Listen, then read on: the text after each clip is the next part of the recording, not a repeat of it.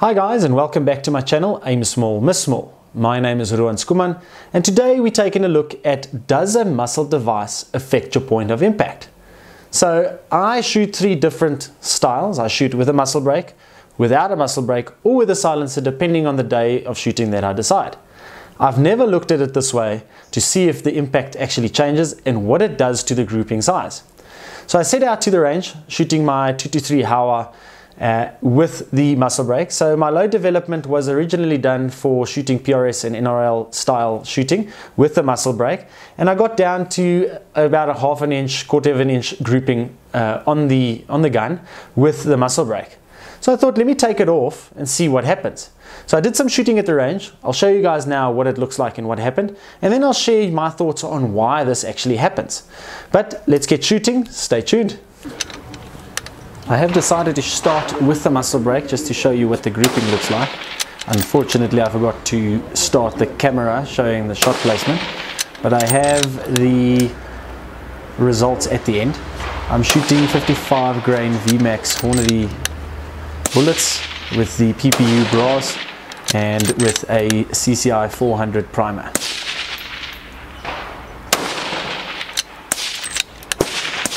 This was a six shot group that I shot and it started at number one, ended at number six. So just about a half an inch high on the bull. For the next one, I have decided to shoot the silencer. Same point of aim, and as you can see that almost three inches low. And the grouping size is quite bigger than with the muzzle brake. This is a four shot group and the end result showing that the adjustment to zero is up 2.16 which is almost two and a half inches lower than the original zero and again right 0.16 inches. For the last one I did uh, with no muzzle device so I just unscrewed the silencer and the point of impact is further to the left about an inch and the group size is also dramatically bigger than with the muzzle brake. Same points, same day, just the muzzle device. On this one the adjustment to zero and there we can see.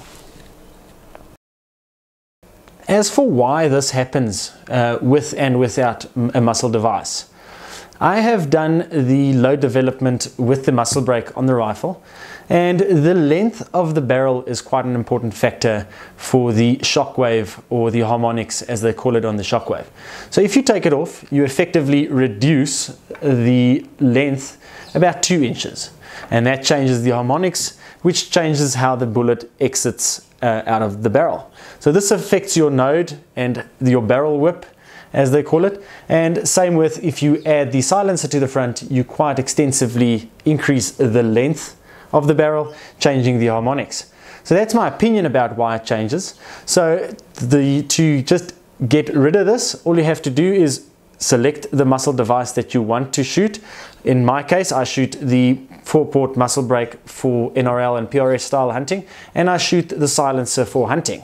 So for hunting, a half or a quarter inch grouping is not very much needed, but I will do a low development on the silencer uh, just to get the smaller group, but it'll be a little bit more or a little bit less amount of powder, and then that'll be fixed. Because all you have to do is change the harmonics to synchronize it with the length of the barrel.